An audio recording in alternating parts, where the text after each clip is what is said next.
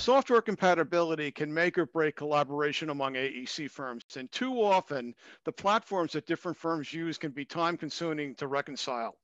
NVIDIA, a leading designer of graphics processing units for gaming and professional markets, has come up with a solution it calls Omniverse, the first RTX-based 3D simulation platform that, and I'm quoting here, fuses the physical and virtual worlds to simulate reality in real time.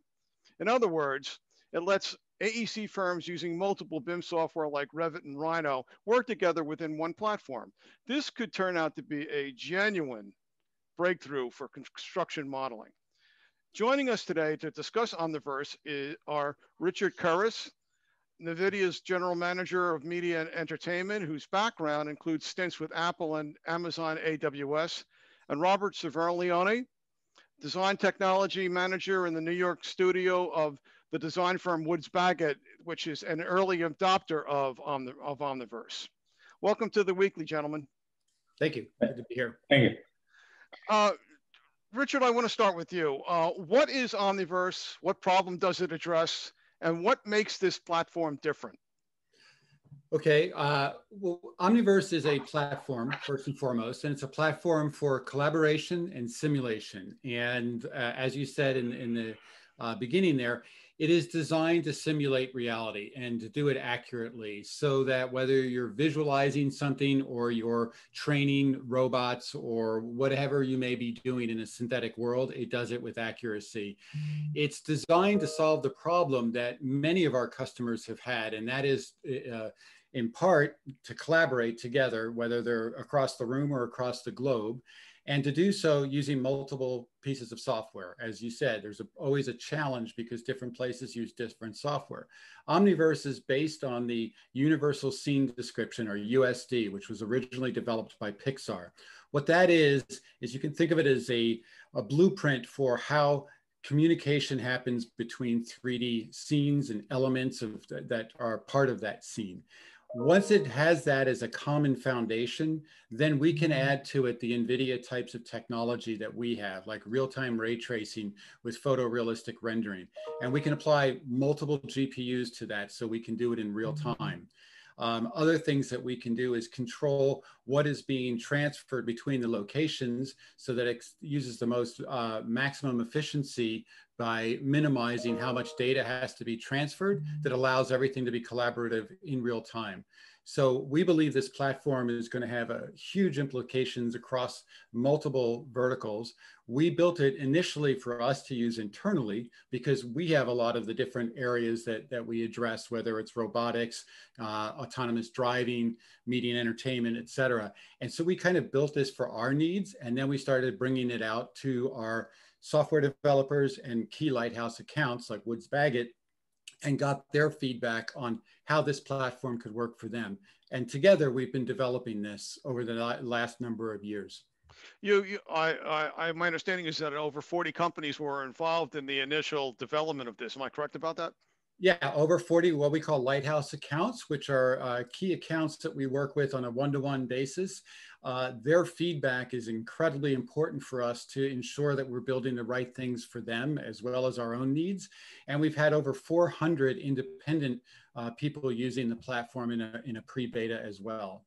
Mm -hmm. Robert, let me ask you, how did Woods Bagot get involved in the development of this platform? So I learned about Omniverse through um, you know typical channels. I was hearing some chatter about you know um, let's uh, stealth beta happening. Um, they put out some initial marketing, and um, I had reached out to the NVIDIA team at last year's um, Autodesk University when it was actually in person. Um, when I got to see an early demo of it, there was a, there was a small showing, and I was immediately enthralled by like you know what it did and the problems it was solving. Um, so that's how you know we first uh, found about found out about it, and then um, uh, I have a little bit of background. I, I, obviously have a background in architecture, but I also have a little bit of background in media entertainment. I've been a Maya user for like 20 years, so I understood what USD was.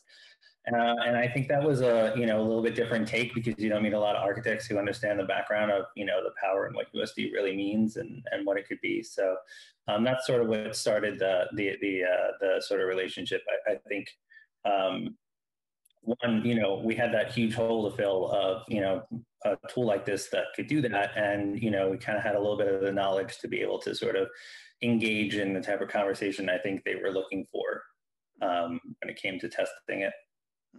Robert, tell me a little bit about how Woods Bagot is likely to be using this platform in its initial stages.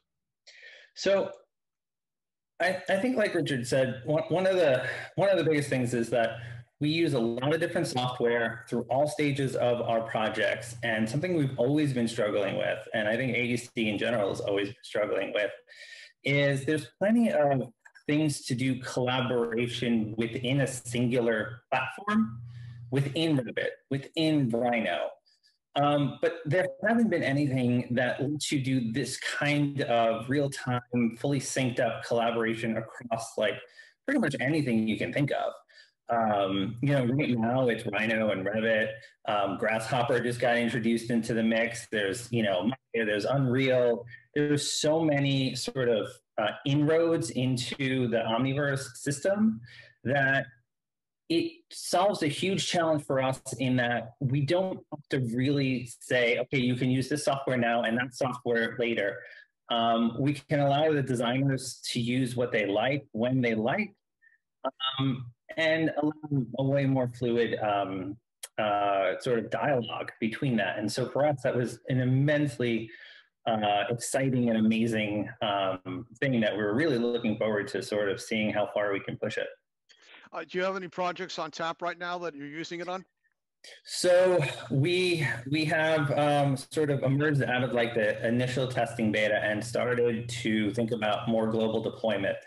Um, and so we are using it on um, you know competitions and things like that mm-hmm. um, internally um, and we are now in the in the phase where you know we feel you know you know confident where it's sitting in the roadmap that we're actually now uh, you know talking how do we now globally deploy this because um, we've been testing it within one or two studios um, and now we're talking about how do we get into you know all 13 mm-hmm.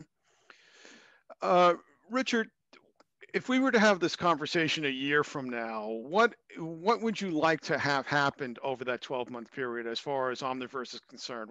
What's it in terms of its beta beta tests, its rollout, and so forth? Well, a year from now, maybe we could have this conversation in Omniverse. So, yeah, um, you know, we are we announced the uh, plan for open beta, which will take place later this fall. So we are working towards that. Um, at that point, it'll be readily available for anybody that's using an RTX-based system, and we want to gather mm-hmm. that feedback into the mix as well. Um, our goal is for a year from now to have these companies being able to rely on the platform and be productive on the platform. Um, we're taking all this feedback quite serious. We, like I said, we use it internally. If you've seen any of the past keynotes and things that have been done, all of the graphics and animations and simulations and stuff have all been done using Omniverse. Um, and we've also worked with some of our key accounts to show some of the visualizations of things. So where we hope to be a year from now is a real working platform. I mean, we, we value this, our customers value this, and it's built for not only the customers to actually use it, is it's also built for the developers, the ISVs or software vendors to use it as well. It's got a robust set of tools that they can build their own custom apps on it, mm-hmm. or a, an end user can actually build and customize it themselves and create what we call experiences with it. So we expect that this marketplace will grow and people will be able to exchange ideas and work together. It's really the, the, the, way of the future is collaboration. And, and I think we've kind of been forced into it into the world circumstances that we're in right now, a little faster than any of us anticipated. But the reality is uh, this is the way of, of the world now. We work collaboratively, remotely, and the better we can provide those tools, the better our customers are going to be able to be productive with that. Mm. Well, I wish both of you good luck with this. This sounds like really exciting. Uh, and, uh, you know, I hear a lot of people claim breakthrough all the time. And sometimes it's just PR, but this seems like it might be a little bit beyond that. And uh, I hope I, I hope I'm right. Guys, I thanks. I think you are. yeah, for sure. And guys, thanks for talking to me about this. I appreciate your time. Thanks to our viewers for watching. This is John Caulfield from Building Design Construction Ma Magazine. Thanks, John. Thank you. Good to see you, Robert. Bye-bye. Good to see you. Thank you.